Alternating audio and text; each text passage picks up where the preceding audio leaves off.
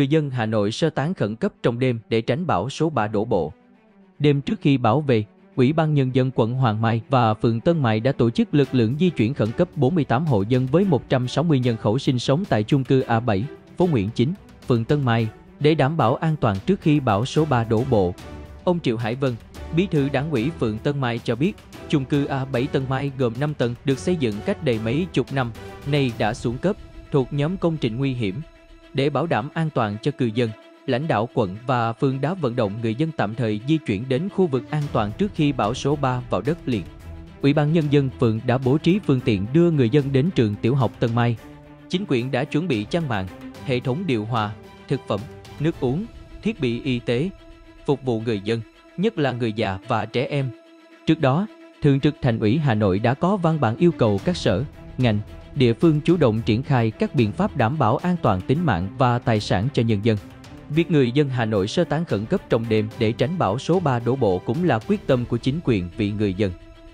Thường trực Thành ủy Hà Nội yêu cầu các quận, huyện, thị xã xây dựng phương án kịp thời và cương quyết đưa những hộ dân đang cư trú ở những khu nhà chung cư xuống cấp, chung cư cao tầng, nhà ở nguy hiểm, nhà riêng lẻ có nguy cơ sụp đổ đến trụ sở Ủy ban Nhân dân phường, xã, trường học kiên cố, an toàn trước khi bão số 3 đổ bộ vào đất liền. Theo Trung tâm Dự báo Khí tượng Thủy văn Quốc gia, tính đến 22 giờ ngày 6 tháng 9, vị trí tâm bão khoảng 20,1 độ Vĩ Bắc, 109,7 độ Kinh Đông, cách Quảng Ninh khoảng 300 km.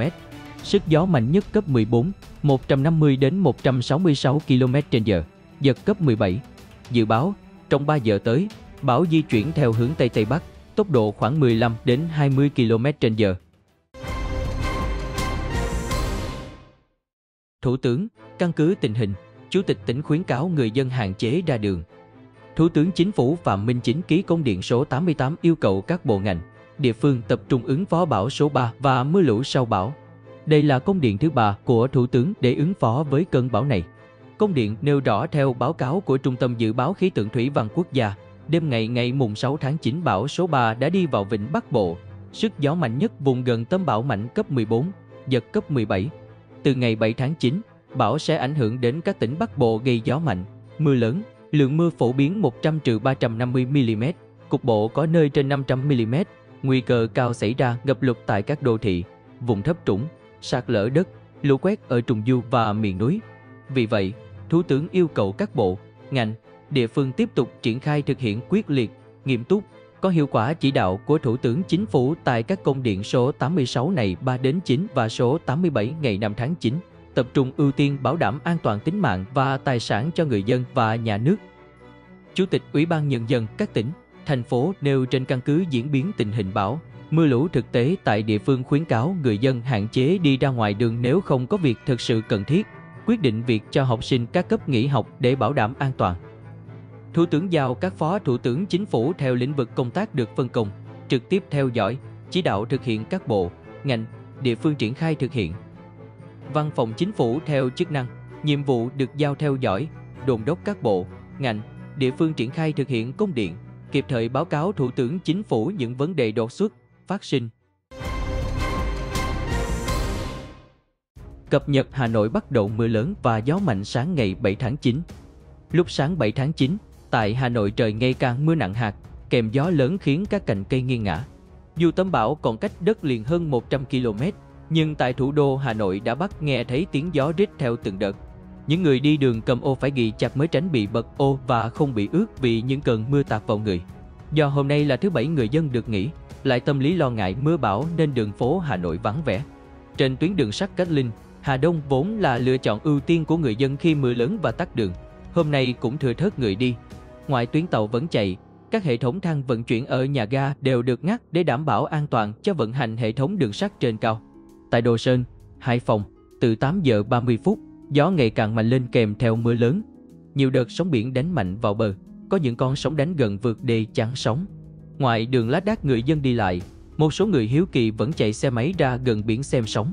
Báo cáo Phó Thủ tướng Trần Hồng Hà, ông Mai Văn Khiêm, Giám đốc Trung tâm Dự báo Khí tượng Thủy văn Quốc gia, cho biết 8 giờ sáng 7 tháng 9 vị trí tâm bão số 3 cách Quảng Ninh Hải Phòng 120 km, gió mạnh cấp 14, giật cấp 17, bão tiếp tục hướng vào Quảng Ninh, Hải Phòng. Khoảng trưa nay bão số 3 vào đất liền. Vùng tâm bão đi qua địa phận Quảng Ninh, Hải Phòng. Từ 11 đến 14 giờ là thời điểm đất liền ven biển Quảng Ninh tới Nam Định có gió mạnh nhất. Trong đó, Quảng Ninh đến Thái Bình gió cấp 10 đến 12, giật cấp 14.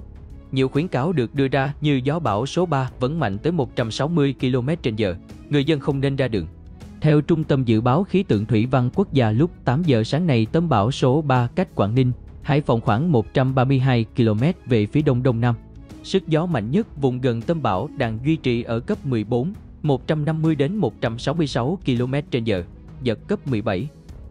Do ảnh hưởng của hoàn lưu bão số 3 tại đảo Bạch Long Vĩ có gió mạnh cấp 12, giật cấp 14, đảo Cô Tô có gió mạnh cấp 7, giật cấp 11, Móng Cái, Quảng Ninh, gió mạnh cấp 6, giật cấp 9, Cửa Ông, Quảng Ninh, cấp 8, giật cấp 9. Cơ quan khí tượng dự báo từ sáng nay đến chiều nay là thời điểm bão gây ra gió mạnh nhất. Do đó, người dân ở các tỉnh ven biển Quảng Ninh, Hải Phòng, Thái Bình, Nam Định, Ninh Bình những nơi chịu ảnh hưởng trực tiếp của hoàn lưu bão số 3 cần tuyệt đối không ra ngoài lúc mưa to gió lớn khi hoàn lưu bão ảnh hưởng trực tiếp. Còn ở huyện đảo Bạch Long Vĩ đang mưa to, gió rất mạnh. Lúc 7 giờ sáng nay, thông tin từ huyện đảo Bạch Long Vĩ, Hải Phòng cho biết hiện tại huyện đảo đang có gió rất mạnh kèm theo mưa lớn do ảnh hưởng từ bão số 3. Từ tối qua ở huyện đảo Bạch Long Vĩ bắt đầu có gió nhưng nhẹ, đến đêm và rạng sáng nay gió mạnh hơn. Từ khoảng 5 giờ sáng đến hiện tại gió mạnh dần lên, mưa cũng bắt đầu tăng cấp. Đến thời điểm này chưa ghi nhận thiệt hại về người, vật nuôi, hoa màu. Một số cây xanh gãy đổ nhỏ, đại diện huyện đảo Bạch Long Vĩ thông tin. Trước đó trong chiều và tối qua, những gia đình có nguy cơ bị ảnh hưởng của bão số 3 đã được chính quyền và các lực lượng của huyện đảo Bạch Long Vĩ sơ tán đến những nơi an toàn. Đối với các nhà dân không có mặt tại địa phương, cấp ủy, chính quyền địa phương, quân đội, công an, nhân dân hỗ trợ chặn chống nhà cửa để bảo đảm an toàn.